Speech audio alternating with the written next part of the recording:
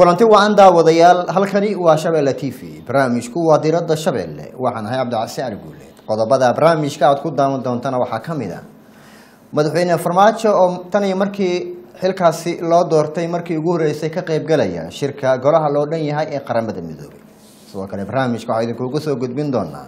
Inta uusan ka ama bixin muqdisho madaxweynuhu waxa uu la kulmay labada madaxweyne ee maamul goboleed hirshabeelle iyo koonfur galbeed. Haddaba maxay ka wada hadleen? Barnaamijka idinkuugu soo gudbin doonaa sidoo kale barnaamijka waxaad ku daawan doontaan. Dhowaan ayay ahayd markii caalamka loogu dabaaldegay maalinta nabadda adduunka. Haddaba shacabka soomaaliyeed siday u arkaan? Qaabkeesa soomaaliya nabadda ka jirta ee u sii jiri karta? Barnaamijka idinkugu soo gudbin doonaa. Sidoo kale barnaamijka waxaad ku daawan doontaan. Muuqaal aada markaad daawato aada ka nixi doonto waa masjidka faqruddiin oo muddo toddoba qarni oo sano ka hor la dhisay hadda laguma dukado lagumana cibaadaysto. Haddaba maxaa u sababa? Barnaamijka idinkugu soo gudbin doonaa qeybaha dambe barnaamijka ayaad ku daawan doontaan warbixin. Ah arrintaasi aan ku eegeyno ismarkaan idinkaaga diyaarinay qodobada iyo qodobo kale ayaad barnaamijkeena diradda shabeelle aad ku daawan doontaan. Ee u diyaargarooba haddii uu barnaamijkan ku dhaafo daawade waxaad dib ugu daalacan kartaa baraha bulshada aan ku leenahay sida facebooka youtube-ka. Sidoo kale waxaa naga baaran kartaa baraha twitter-ka iyo instagram-ka ee shabeelle t v maskax lagu dadaaliyo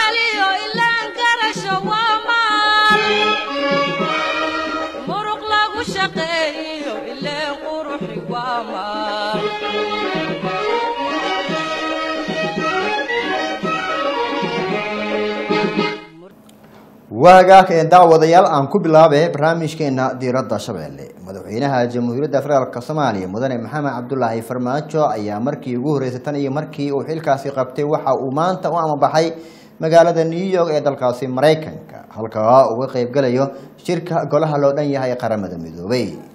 Madaxweynaha ayaa wafdiga raacay waxaa ka mid ahaa wasiirka maaliyadda iyo weliba agaasimaha madaxtooyada soomaaliya madaxweynaha soomaaliya maxamed cabdulaahi farmaajo ay wafdi hogaaminayo ayaa u mubaxay dalka maraykanka si ay uga qayb galaan meerta toddobaatan iyo afaraad ee golaha guud ee qaramada midoobay.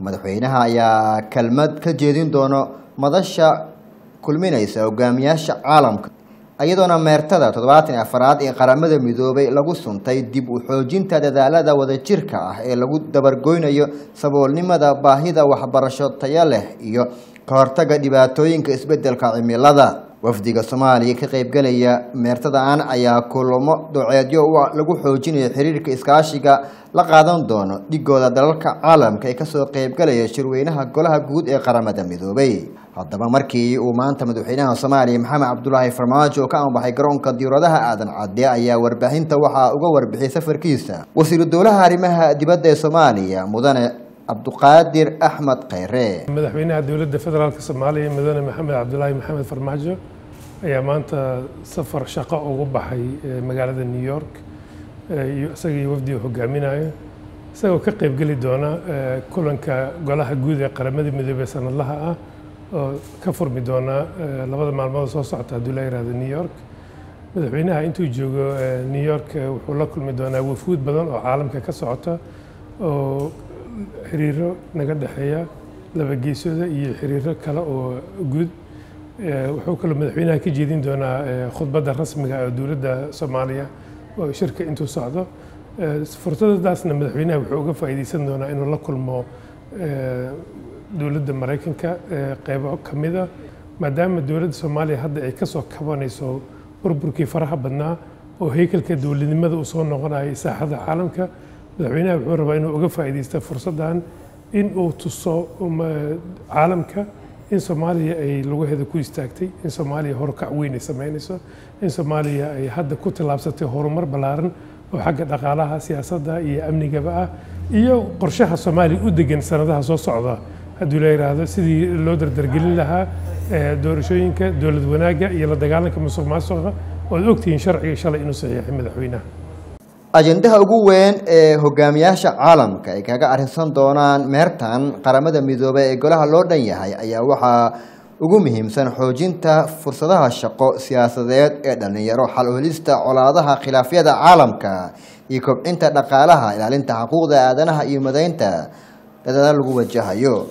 Geesa kalena madaxweynaha soomaaliya maxamed cabdulaahi farmaajo ayaa kulan la qaatay madaxweyneyaasha dowlad goboleedyada koonfur galbeed mudane cabdicasiis xasan maxamed laftagareen madaxweynaha maamulka hirshabeelle maxamed cabdi waare oo maalmahanba ku sugnaa muqdisho. Iyadana uu ka soo qeyb galay ra'iisul wasaaraha soomaaliya mudane xasan cali kheyre madaxweynaha dowlad goboleedka galmudug axmed ducaale geelle xaaf gudoomiyaha gobolka banaadir ahna duqa muqdisho mudane cumar maxamuud cumar finish madaxweynaha iyo mas'uuliyiinta heer federaal iyo heer dowlad goboleed ayaa iska xog wareystay xaalada guud ee dalka. Amniga in si wada jira looga sii ambaqaado dadaalada dib loogu dhisayo dalka iyo sidoo kale kaabayaasha dhaqaalaha. Muhiimadda kulankan ayaa waxa uu ahaa wada shaqaynta mas'uuliyiinta heer federaal ilaa heer dowlad goboleed iyo ilaalinta danta guud ee ay wada leeyihiin labada dhinac. Waxaa magaalada muqdisho booqasho ku yimi madaxweynaha hirshabeelle mudane maxamed cabdi waare iyo sidoo kale madaxweynaha koonfur galbeed mudane cabdicasiis xasan maxamed laftagareen madaxweynaha jamhuuriyadda federaalka ee soomaaliya mudane maxamed cabdulaahi farmaajo ayaa madaxtooyada qaranka casho sharaf ugu sameeyey. Waxaa sidoo kale ka soo qeyb galay ra'iisul wasaaraha xukuumadda mudane xasan cali khayre iyo madaxweynaha galmudug mudane axmed ducaale geelle xaaf.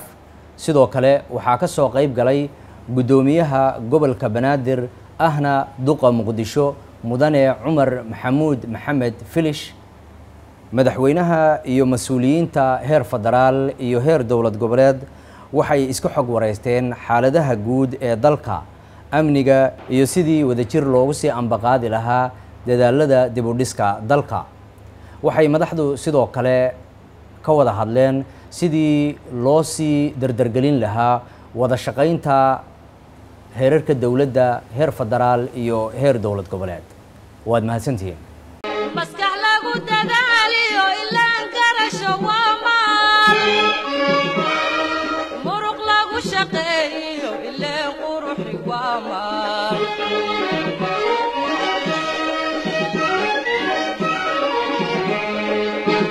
waagaag een daawadayaal weli waxaad daawanaysaan barnaamijka diiradda shabeelle. Koo iyo labaatanka bisha setembar sanad walbaaba xilligan oo kale waxaa laga xusaa maalinta nabadda adduunka waxayna ku beegneed maalnimadii shalay. Haddaba shacabka ku dhaqan muqdisho sidee u arkaan nabadda soomaaliya xilligan ka jirta ifaalaha muuqanaya?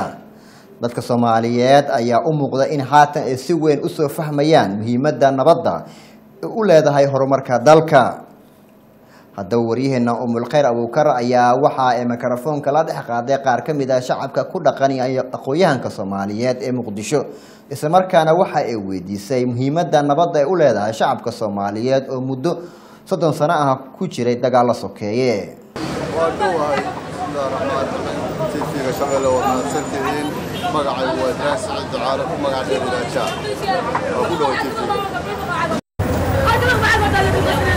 waxay noo qeexdaa muhiimadda ay leedahay muhiimadda ay nabaddu inoo leedahay dalkana u leedahay waa lambar wanka nolosha. Haddaynu gadaal u milicsanno dhowr iyo toban sano ka hor gidaarka aynu maanta fadhino tareebiyaan aad igu waraysanayso qalabka intaad soo qaadatay iguma waraysan karteen. Waa muhiimadda asalka nabadda aynu maanta isku waraysanayno dhallinyaradeenna ardayda ee soo koraya hadda jaamacadaha maray quruxda badan gabdhaha iyo wiilasha isugu jira iyo dhowr iyo soddonka jaamacadeed muqdisho ka furan baa kuugu filan nabad nabaddu waxa ay leedahay. Dhowr iyo toban sano ka horna intaas ma garanaysaa xamar kamay furayn waa intaasoo inoo sii saayida nabadda waxay xoojin kara ma aha dowlad la doorto iyo dowlad meel inoo timaada nabadda waxay ka timaadaa waa shacab. Kalsoonida waxay ka timaadaa waa shacabka inaynu inagu maqlanaysaa isku duubnaanno shacabkeennu ogaano nabadda waxa ay tahay waa ay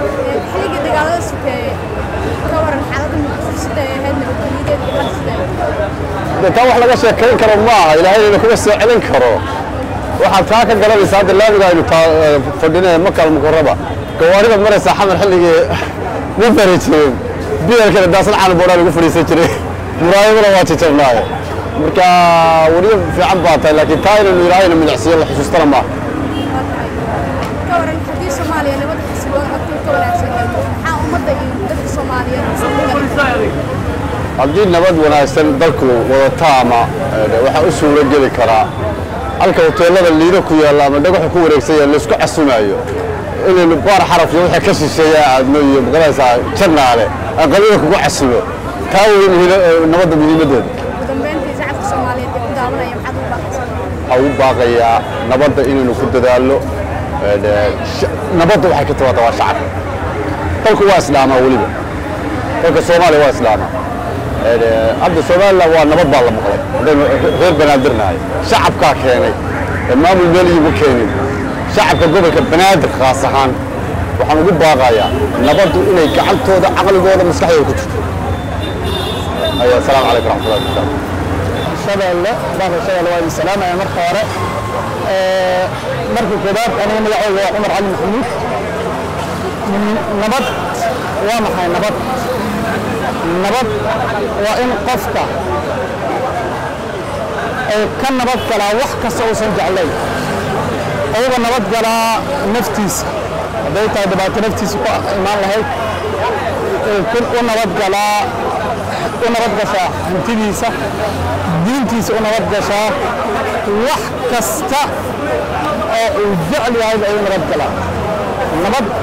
waxaa la yidhahdaa inuu qofka noolaado asiga oo aan cabsi qabin wax allaale wax uu ka cabsanaya aysan jirin. Ereyga nabad ficlan waa erey macno weyn laakiin waxaan ku koobi karnaa in qofku uu noolaado asiga oon cabsanayn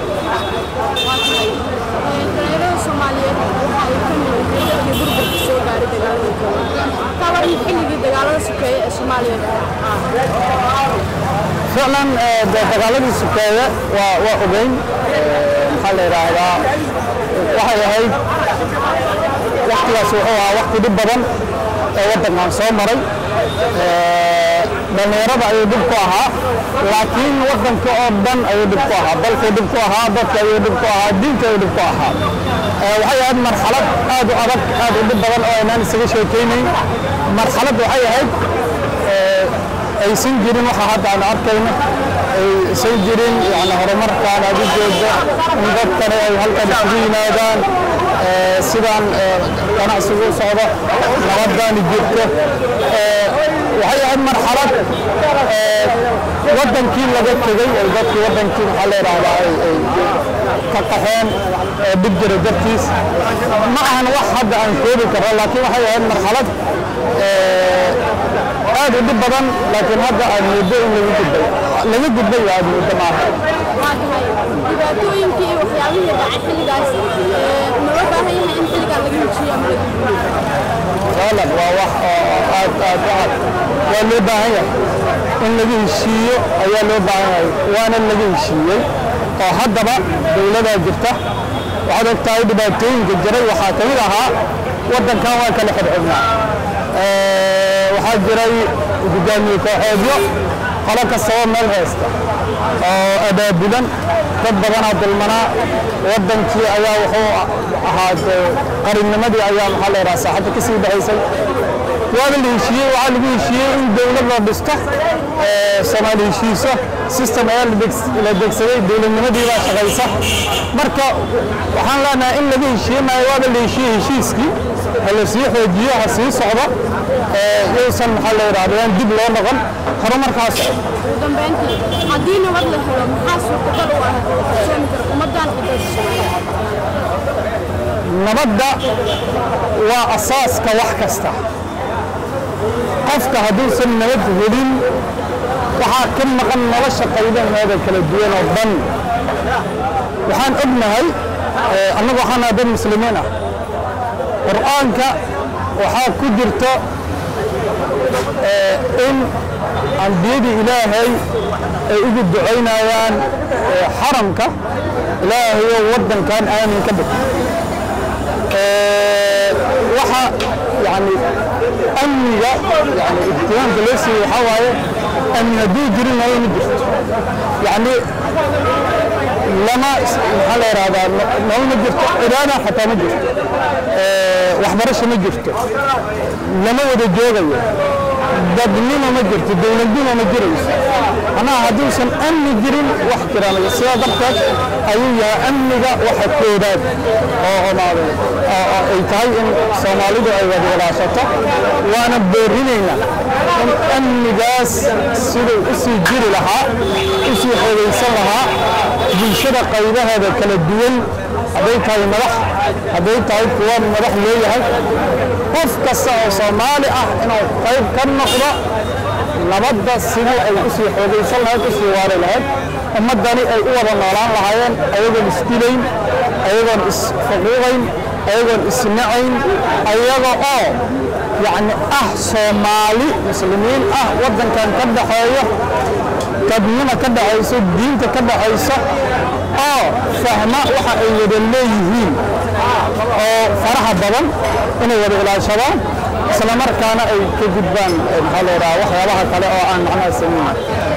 maasha allah waa mahadsantihi shabeelle magacaygu waa aadan maxamed xasan aadan dega degmadu waa beri macnaha muhiimadda nabadda ee leedaha waa aragtaa oo malaynayaa shalaytu sidaan ahayn iyo maanta sidaan nahay.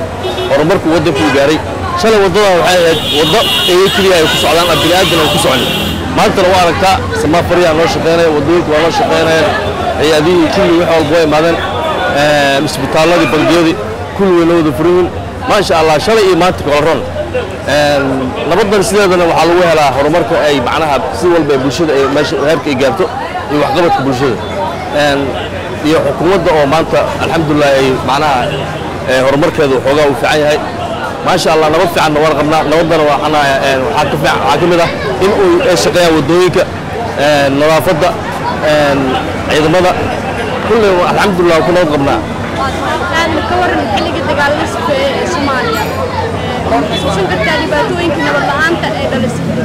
Wallaahi bilaahi wax laga soo maro waaye wax laga sheekeyn karo waaye maanta alxamdulilah waan soo marnay waxaan soo marnay oo kale in habeenkii oo kale aan la socon karin.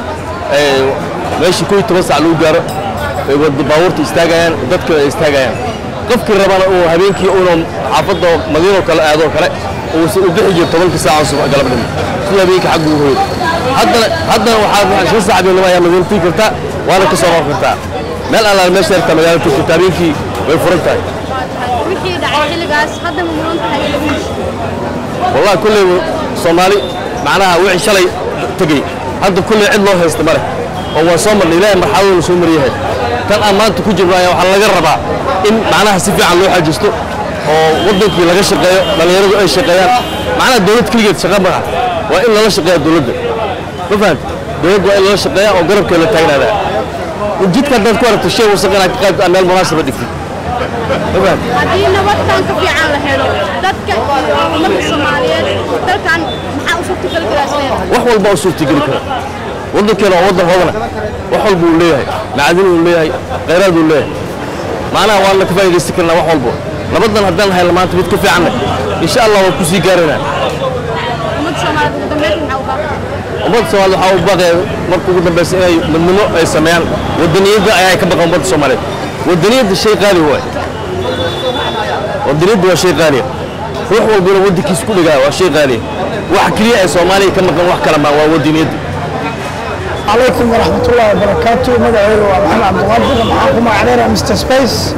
ماي نيكنيم actually سؤال ويديس جوابتي نبض يا مرو هو مهم ولا داعي ودنك دتك دلوينا وباهين u sidaana shalay arkayna dowladda federaalka inay saxdo musuqmaasuqa inay la dirirayso in aad gacanta u saarta nabad iyo amniga magaalada xaaladeeda qaraxyo wax ka dhacay waa aragteen. Meel nabad ay jirto bini'aadan kuma noolaan karo. Marka dagaalka nabadda dowladda iyo soo shaqayska bulshada ay ku xiran tahay. Xilligii soomaaliya ee nimadooda meesha ka baxay maxaa ummadda soomaaliyeed dadka soomaaliyeed actually that's a good point. Leave the past. Waxa soo dhaafo waaye. Hadda xaaladda meel markii la joogaa baa laga hadlaa. Su'aal fiican. Haddana waxaa soomaaliya oo burbur martay barakacday dadkeeda meel walba ku baaba'ay.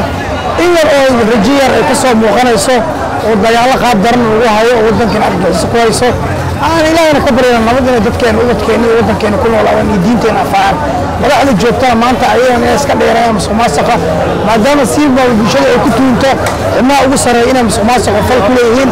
Shalan aad waxbayntiga aan ku faraxna wasiir ku-xigeen oo maxkamad la geeyey. Cadaalad aad u eg baa soo dhalanaysa waddanka. Room of justice waa la helo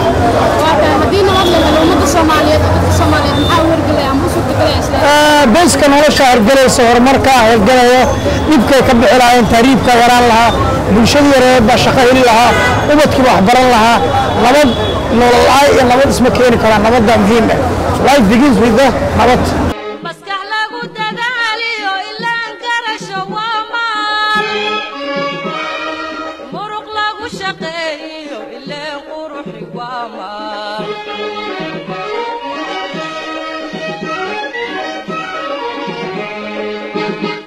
waagaakeen daawadayaal iminkana waxaan soo gaarnay qeybihii dambe ee barnaamijkeena diradda shabeelle masjidka faqrudiin waxa uu ka mid yahay asraarta iyo taariikhda ummadda soomaaliyeed ay lahaan jirtay islamarkaana ilaa hadda raadadkooda ka muuqda muqdisho. Masjidkan ayaa waxaa la dhisay ama dhibada loo taagay in ka badan toddoba qarni oo sano hadda laga joogo. Hadda masaajidkan hadda intiisa badan laguma dukado islamarkaana laguma cibaadaysto. Waxaa ka muuqda burbur islamarkaana markii aad aragto muuqaalkiisa waxaad arkaysaa in halkaasi hoy u noqotay qashin iyo waxyaabo kale. Wariina maxamuud soo feesana ayaa warbixintan ku eegaya taariikhda masaajidkan oo ku lahaa magaalada muqdisho iyo weliba hadda qaabka u dayacan yahay. Way adag tahay in xilligan loogu yeero magaca masaajid waayo wuxuu dugaal u noqday qashin iyo wax walba oo xumaana. Dhismahan uu burburku idinka muuqdo oo lagu magacaabi jiray masaajidka faqrudiin ee degmada shangaani. Taariikhdu waxa ay sheegaysaa in la dhisay muddo ka sii horreysay toddoba boqol oo sano ka hor. Sida tanna waxaa u galay dagaaladii sokeeye ee dalka ka bilowday kun sagaal boqol kow iyo sagaashankii. Degmada shangaani ku yaallaa waa hadda qashin waaye waxaan reynaa la dhex joogaa wax wanaagsan maahan. Laakiin waa masaajid taariikh intaan ka waxaa dhexdiisa lagu kala iibsadaa oo lagu isticmaalaa noocyo ka mida maandooriyaha welina ma muuqato cid xitaa isku soo hadal qaaday. In dib loo soo celiyo sharaftii iyo karaamadii masaajidkan dowlad iyo shacabba. Soomaali haddaan nahay boqolkiiba boqol islaam aan nahay. Waxaa waa islaamnimadeennana waxay halis gelinaysaa. Hadda horta waxaan aada isku weydiiyey masiibada iyo dhibaatada iyo qaraxa iyo halaagga nagu imaanayo. Annagoo boqolkiiba boqol islaam ah inaan baytullaahi horta sidaan ku fiirsanno waa nasiib xumo. Dalii dibadba islaamka soomaalida ama islaamka caalamka oo dhan horta iskaba daawan ninka ku fikiraya inuu baytullaah ka dhigto hoteel ama guri waa nin wuxush ah oo aanan diinna haysan. Annaga taas horta kama ogolaanayno laakiin waxaan dhihi lahaa soomaali haddii aan rabnay inaan ka baxno halaagana haysto waxaa ka mid ah tusaale nagu ah inaan raalli ka noqonno baytullaahi in saas loogu xaarxaaro ee saas hadda aan u dul taagannahay ee qashinka iyo wasaqda iyo halaag. Halaag waxaan noo dhiman ma jirto. Manaaraddii aad u jeeddaan masaajidkii aad u jeeddaan waxaan rabnaa inaan juhdi gelinno. Nafteenna inaan juhdi gelinno. Waxaan ka codsanaynaa islaamka ee soomaaliyeed ee caalamka iyo gudaha joogaanbo inay ku baraarugaan in meeshaan lagu soo celiyo xushmaddii iyo karaamadii ee lahayd. Sababtoo ah waxa lala dagaalamaya mus masjid keliya. Taariikhdaada waa wax la luminayo isticmaalka hadduu taariikhdaada lumiyo ma aha inaad raalli ka noqotaa adna aad sidaan ku sii daysaa masjidkan waxay xisaabsan tahay taariikhda ee soomaaliya jirtay ayay muujinaysaa. Wadaadkan taagan halka masaajidkan mixraabka u ahayd oo lagu magacaabo macalin jaylaani bahluul wuxuu ka mid ahaa jameecadii barisamaadka ku cibaadaysan jiray. Burburka meelihii aragtiya meeshii burbura ka dhacay. Ma xasuustaa markuu burburay? Waa xasuusnay waa dhex joogi be goormay ahayd. Intii oo maaragtiya oo maaragtiya oo oo tala la'aanta aan helin aan aan waynay. Tala la'aanta aan waynay cid loo taliya la waayey ayaa saan isku noqday. Waa cuquubo haddii aan laga hortegin laga yaaba inay ka dhalato caro alle waa mas'uuliyad habboonayd in mar hore cididhabarka u ridato. Su'aalo badan ayaa hor yaalla dowladda iyo guud ahaan soomaalida. Yuu sugayaa oo dib u dhisaya masaajidkii ay ku suntanayd taariikhda dalkeenna ee faqrudiin ilaa goormo ayaan indhaha ka dadanaynaa masaajidkan oo loo beddelay guryihii shayaadiinta. Waxaan ku arkay wax islaamnimadeenna xataa halis gelinaya sababtoo ah waxaan tusaale yar idinka tusaa. Kiniisaddii derbiyaa lagu wareejiyey ganjeelaa la saaray cid geli karta male waa kiniisaddii masjidkina saasuu u daayacan yahay. Aab islaamnimada aan sheeganayn soomaalidu maadaama ay yihiin dad boqolkiiba boqol muslimiin ah maxaysan wax xila iskaga saareen qorxinta guryaha alleh ee burbursan sida nin kasta uu ugu tiiriyo tacabeelayo guryaha qosol kujabka ah ee dunida looga huleelayo. Inta badan sida aad u jeeddaan magaalada muqdisho waxaa ka socda dhismayaal aad u waaweyn waa arrin runtii lagu farxaa. Hase ahaatee midda la isweydiinaya ayaa ah ma waxaa jirta cid ay mas'uuliyad gaara ka saaran tahay in ay dhisaan masaajidda? Mise waa mas'uuliyad wadaag ah oo u dhaxaysa ummadda islaamka ah ee soomaalida. Marka si kale loo dhigana dantii gaarka ahayd waxay xilligan in badan ka horraysaa dantii guud. Goobaha taariikhda ah waxay dadka qaar u yihiin xasuus oo waxay ogaayeen waayo qurux badan oo ay u soo joogeen meelahan oo qurux badan xilligii nabadda. Dadka yaryarna waxay u yihiin ogaal iyo waxbarasho. Soomaalidu waxay arkayeen markii uu dalku burburay inay saamayn xun arrintaasi ku yeelatay nidaamkii iyo kala dambayntii dowladnimada. Laakiin markaad si dhaba ugu fiirsato waxaa naga burburay diintii dhaqankii taariikhdii dabeecaddii iyo dulqaadkii dadka iyo waxyaabo kale oo tiiran muhiima u ah nolosha aadanaha haddaba daawadayaal warbixintaasina waxay ugu dambeysay barnaamijkeena diiradda shabeelle oo aan ku eegeynay masjidkan oo hadda cidi aysan u maqnayn islamarkaana cid isku xilqaantay inay dib u dayactir ay ku samayso masaajidkan islamarkaana dib ugu soo celiso cibaadadii markii horeba loo dhisay in hadda aysan muuqan. Balse waxa uu looga fadhiyaa ay tahay ummadda soomaaliyeed ee muslimiinta ah iyo weli madaxdooda. Guud ahaan barnaamijkeena diiradda shabeelle intaa ayaan jecelahay inaan ku soo gabagabeeyo waa anigoo cabdicasi cali guuleeda idinla sidaas nabadgelyo wasalaamu calaykum waraxmat ullaahi wabarakaatu